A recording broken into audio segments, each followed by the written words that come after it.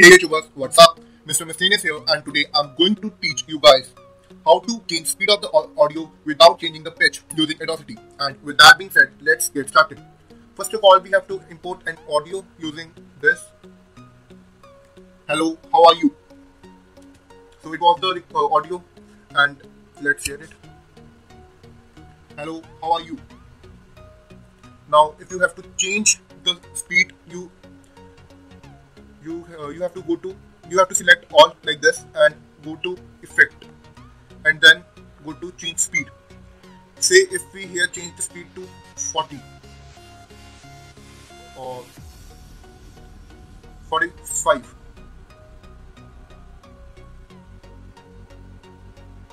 let's change the speed to 55 only. Okay? Hello how are you? You can hear that there is a change in speed and there is a change in also.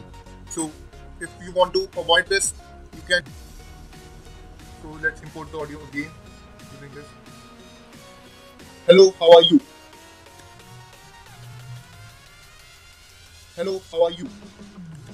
So if you want to change its speed without changing its pitch, select it all again and go to effect and go to change tempo instead change speed and again we change it to 55 and select OK.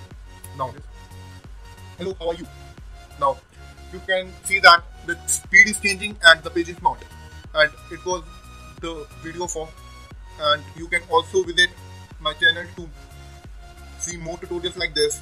Hope you like the video and it really helped you. Do subscribe, like and comment.